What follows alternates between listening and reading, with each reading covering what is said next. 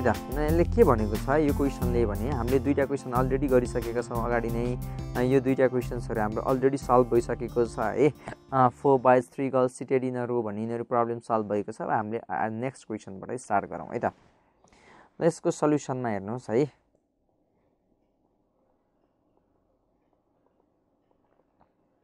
यसमा के भनेको छ in how many ways can four red beads है चारवटा रेड बिड्स छ अनि five white beads and three blue beads be arrange in a row a रोमै एरेन्ज गर्ने है in how many ways four red beads चारवटा red beads छ भनेको चारवटा मालाको दाना त उस्तै बन्छ नि त रातो त सेमै हो।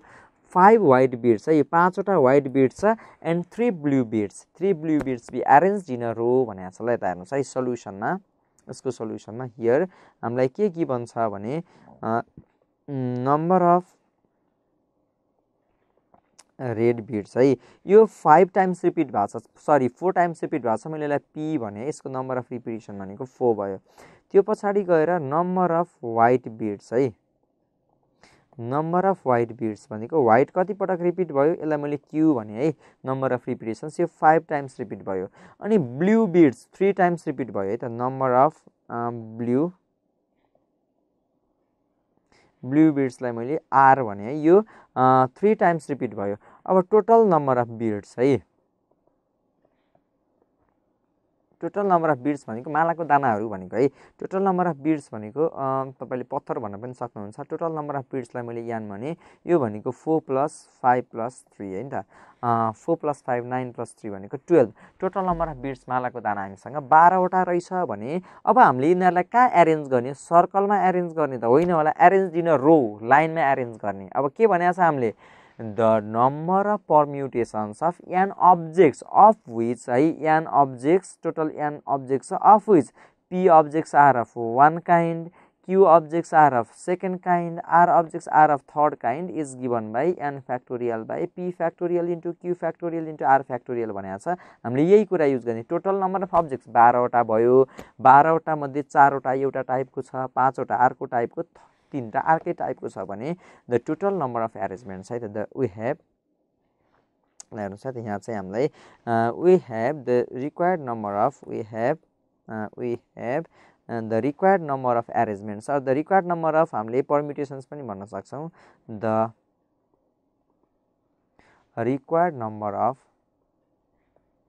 the required number of arrangements the required number of arrangements is given by n factorial by p factorial into q factorial into r factorial. Value put गरौँ। यो भनेको twelve factorial by four factorial into five factorial into three factorial यसलाई यत्तिकै छोड्दा पनि हुन्छ है। तपाईँले क्यालकुलेट गर्नुभयो भने पनि धेरै ठुलो भ्यालु आउँछ। टुवेल्भ फ्याक्टोरियल भनेको त्यही भएर यसलाई हामीले यत्तिकै छोडिदिन पनि मिल्छ।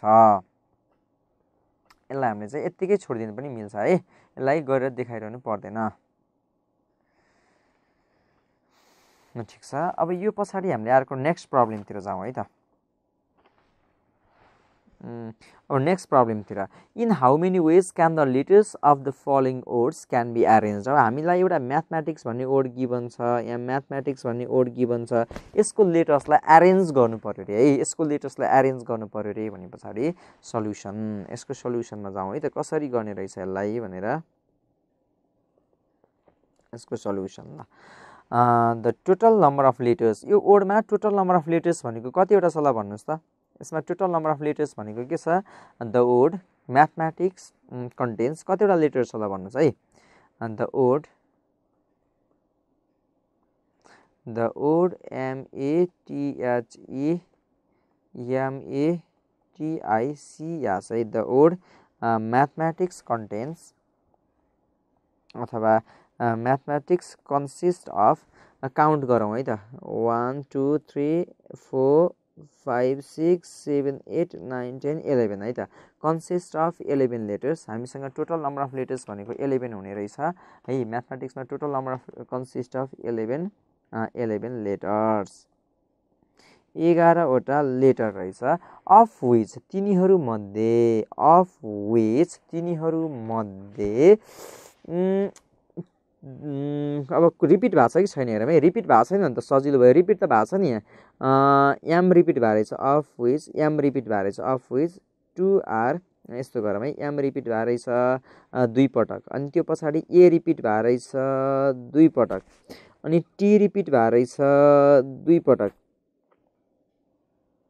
एच रिपिट भएको छैन ई रिपिट भएको छैन आई रिपिट भएको छैन सी र एच रिपिट भएको छैन ल of which two are of which two are M's दुईवटा एम छ है टु आर एम्स अनि दुईवटा नै के छ भने ए दुईवटा ए छ है त दुईवटा ए छ दुईवटा ए छ टु आर एज अनि त्यो पछाडि गएर दुईवटा ए छ हेरौँ है दुईवटा ए छ त्यो पछाडि गएर दुईवटा नै के छ भने two are T's. Two are T's and remaining बाँकी रहेको सबै डिस्टिङ छ भनेको छुट्टा छुट्टै छ बाँकी रहेको चाहिँ। है and remaining are sorry and remaining are and remaining are distinct and remaining are distinct बाँकी रहेको सबै चाहिँ छुट्टा छुट्टै छ and remaining are distinct so so अब हामीले के भन्न पायौँ? टोटल नम्बर अफ लेटर्स भनेको कतिवटा भयो? एघारवटा भयो है? अनि त्यो पछाडि गएर न एको है एमको नम्बर अफ रिपिटेसन दुई छ। फर्स्ट टाइपको लेटर दुईवटा भयो। सेकेन्ड टाइप ए रिपिट भएको छ। दुई पटक। थर्ड टाइप चाहिँ टी रिपिट भएको छ। सबै दुई पटक भने we have the total number of we have the total number of arrangements or permutation जे भने पनि हुन्छ है। We have the total number of arrangements or permutations we have the total number of arrangements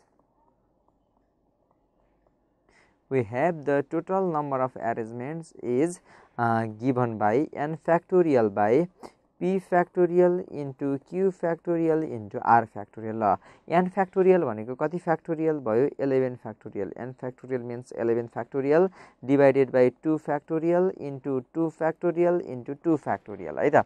अब यसलाई calculation गर्दा चाहिँ eleven factorial value large number आउँछ त्यो हुनाले हामीले यत्तिकै छोडिँदा पनि हुन्छ है?